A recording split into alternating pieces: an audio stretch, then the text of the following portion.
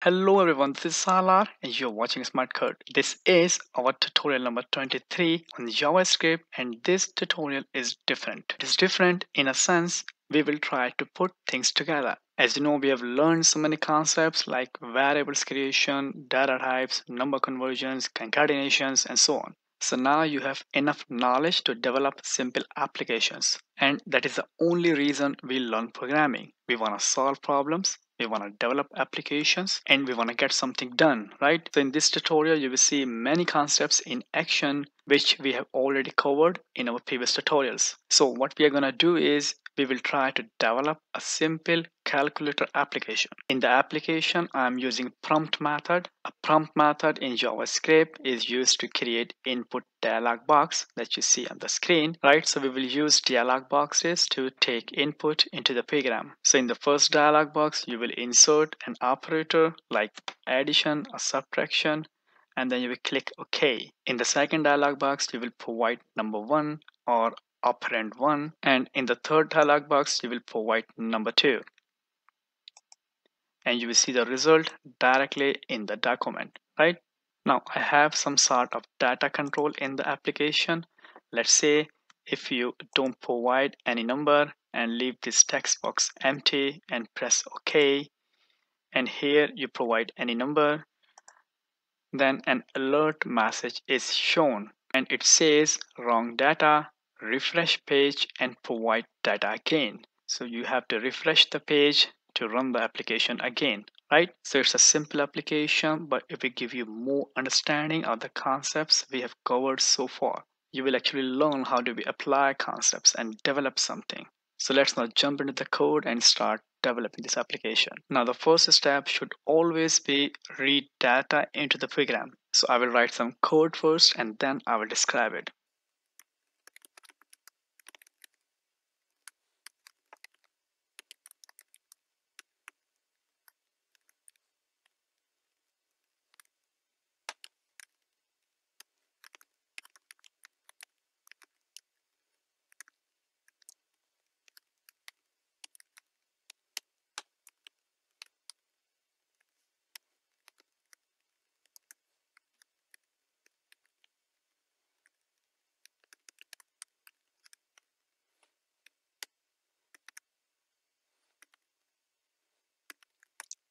So I created three input dialog boxes using prompt method here, here, and here. Now if you run the program at this moment, this input box will come first and then you will see this one and in the last this one comes up right? So they will show themselves in the same order you have them in the code. Now prompt method is for input and when you provide input in the box it will be returned by the method. So the prompt method has a return value. And when a method has a return value we need to take care of it. And this is what we are doing here. We are taking care of the return values and assigning them to these variables. And now here you see I'm using constant instead of let variables. And you know constant variables are immutable. And once they are initialized in the program they can't be reinitialized. So using constant, I secure the input that coming in the program. So the constant variables is the right choice. I will go for it, not for let variables, right? Now, in our tutorial number 14, you learned number conversions and you know how to convert a string representation of a number to a real number using functions like parseInt and parseFloat. And here you will see a practical example of number conversions. The data on the web exists always as string. So if you're reading data in the program from the web, then your data is always in the form of a string, right? So this prompt method gets data from the web and gives it back to the program. So the data coming in the program is in string form. Let's say in the prompt input box, you provide 10 and when it comes into the program it is changed into a string. So at this moment our variables number one and number two will get the string representation of numbers not the actual numbers. And that means we need to convert string representation of numbers to the real numbers. And that's why we need to do number conversion here and here. So let's do that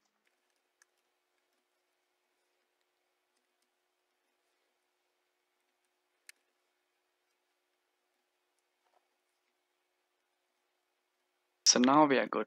Data will be converted from the string to the floating point numbers before it is placed into the variables. Now look at the source of errors in the program. I see three different cases. Number one is user can provide input that can't be converted into the floating point numbers like ABC. Right? And number two is user can press the OK button without providing any data. So in this case, prompt method will return an empty string. And number three is the input dialog box has a cancel button. And when the cancel button is pressed, the prompt method will return a null value. So in all the three cases, parseFloat won't succeed in the conversion. And what you know, when parseFloat fails in the conversion, it returns a special value which is nan, right? Nan means not a number and it indicates conversion process went wrong. Now I will put some more code in the program and perform data validation. And we need also a variable to hold the result, right? Now I will write if statement to perform validation.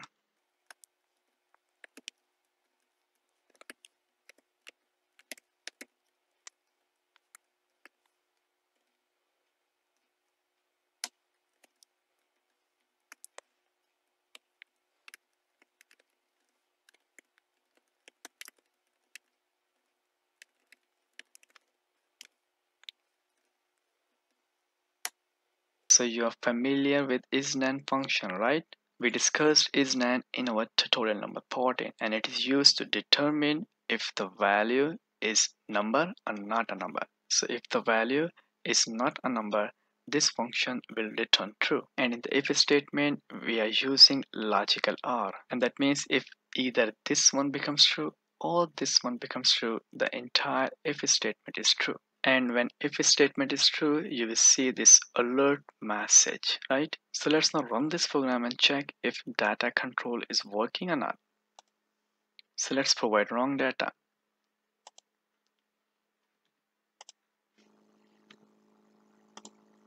And here you see wrong input refresh the page again and provide data right? And you can check by yourself for empty string and null value. I hope it will work. Now if our variable holding numbers we will rather come inside the else block and here we are going to program our calculator. And we will just write a series of if else if statements to let our program decide what operation to perform. That's it. So let's do that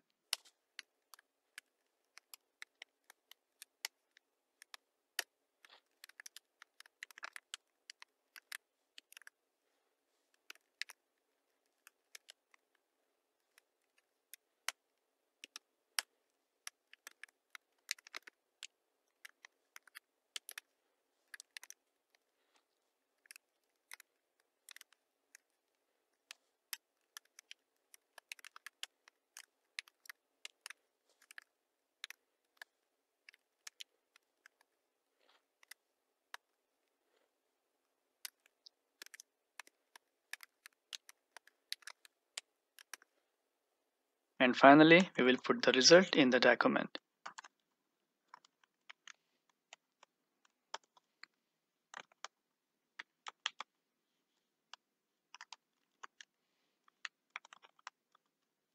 Now a simple calculator application is ready. And you see we have applied many concepts in this application. We have covered in previous tutorials. For example, the const variable, parseFloat function, isNan function, string concatenation here. And this is the first time I am using document.write method. But I told you in our very first tutorial that we would use it to print the result right? Now you can run the program and check it by yourself. I hope it will work. And don't forget to tell me if this tutorial was helpful or not. You can leave comments under this video. I will see you in the next tutorial and thanks for watching